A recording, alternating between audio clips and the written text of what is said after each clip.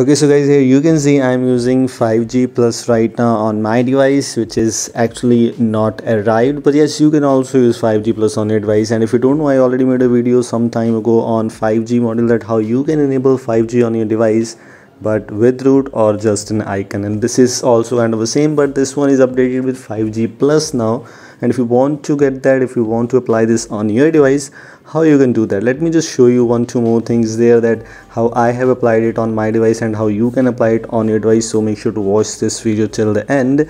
First of all this is actually a magisk module as always. This is a magisk module so which means it's not official one it's not original one it's just a module which will just replace your icons like 2g 3g 4g or lte icon with 5g plus. So that it will spoof you can spoof your friends that you're using 5g plus looks quite great. And as always thanks to Jairaj for this.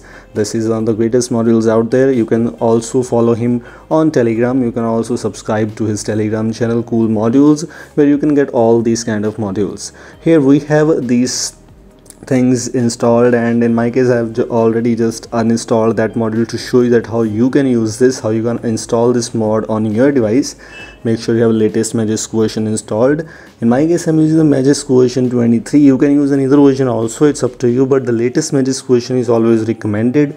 So if you have installed the latest Magisk version how to download that? Link for this thing is in the description. You'll find out this link in the description. Pling link whenever you open this link you'll find out this cool modules option where you'll see files option. And here you need to find out this module called 5g plus module at the cool modules.zip so you can simply click here. It will ask you like this pop-up. Click on download. Please click here. It will be downloaded successfully on device i've already downloaded it, so i'm not gonna download it right now. But if you have downloaded successfully move on to your magisk file. Here you need to click on install from storage locate the file you have downloaded. I have already located this. Click this. You are good to go. This is one of the best modules. You can give it a try. This is all. Thanks for watching.